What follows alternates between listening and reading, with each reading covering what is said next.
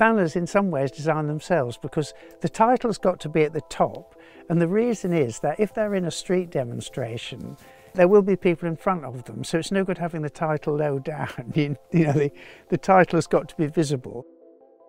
Most peculiarly in a digital age when everything is digital and can be zoomed around the world, I can put the six o'clock news on on a Saturday and there'd be banners all over the six o'clock news. And, the, and yet the handmade, crafted things, you know, which are slightly a counterpoise to um, the digital world.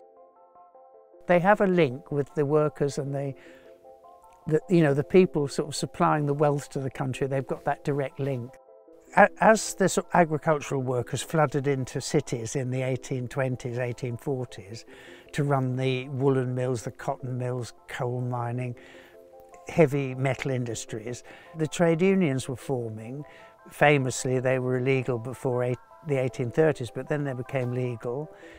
The silk woven banners with painted centerpieces of the 19th century were sort of iconic in this complete change. I mean, the reason that we have a standard of living today is because of the industrial revolution which was taking place and th these banners were sort of integral to it. When I make banners now I'm sort of constantly aware of the, the history of them.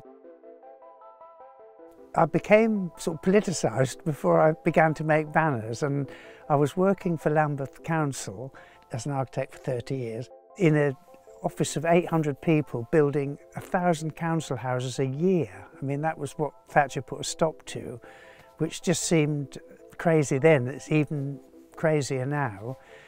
Unison was a very powerful union and I became the convener of those 800 borough development staff and then later on the branch secretary for staff at Lambeth. And because I could draw and make things, the banners that were needed, I was, I was making those and some of them overnight.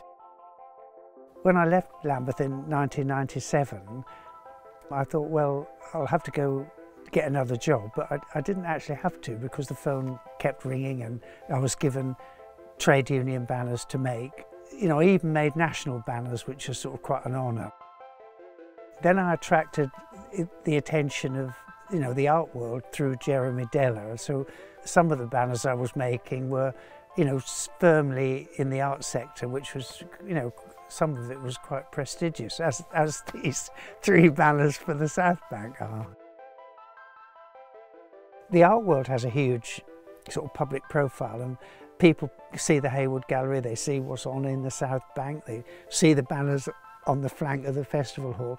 You know, there's a, a coffee bar just down by that decarbonisation banner. And I've sat in that coffee bar and you get couples come along and then they discuss it. So it does have an effect. People are talking about it. Everyone has got to be involved in this. Whatever our technology, we can't go anywhere else. That's absolutely, we're stuck. We, we're, there is no other world. This is it. You know, and I think that, that is a, such a powerful message.